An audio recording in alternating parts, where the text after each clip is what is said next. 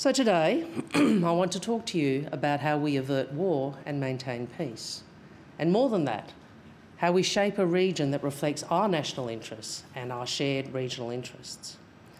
Those interests lie uh, in a region that operates by rules, standards, and norms, where a larger country does not determine the fate of a smaller country, where each country can pursue its own aspirations and its own prosperity. A war over Taiwan would be catastrophic for all. We know that there would be no real winners, and we know maintaining the status quo is comprehensively superior to any alternative. It will be challenging, requiring both reassurance and deterrence. But this is the proposition most capable of averting conflict and enabling the region to live in peace and prosperity. So I'll say it now at the National Press Club to avoid any possible misunderstanding. Our job is to lower the heat on any potential conflict while increasing pressure on others to do the same. And the Albanese government does that here at home, and we do that in our diplomacy. It may not sell as many newspapers today, but it will help you to sell them for a lot longer. I said at the outset strategic competition is not merely about who is top dog, who is ahead in the race, or who holds strategic primacy in the Indo Pacific. It is actually about the character of the region.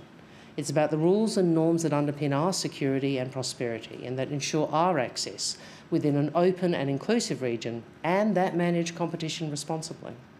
It's clear to me from my travels throughout the region, countries don't want to live in a closed hierarchical region where the rules are dictated by a single major power to suit its own interests. Instead, we want an open and inclusive region based on agreed rules, where countries of all sizes can choose their own destiny. Some of the framing of this speech by some media outlets today um, sort of framed it as, as a counter argument to comments that were made by the former Prime Minister Paul Keating in this very forum only a month ago.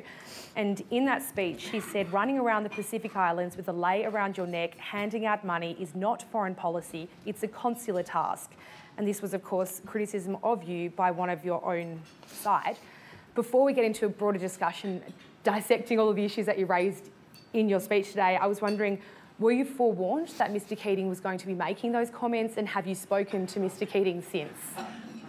Well, um, you can probably work that out for yourself. But uh, what I'd say on the Pacific is the, the importance of the Pacific to Australia, the importance of a peaceful, stable region to Australia, I think I laid out in the speech and has been well understood by previous uh, Prime Ministers and governments.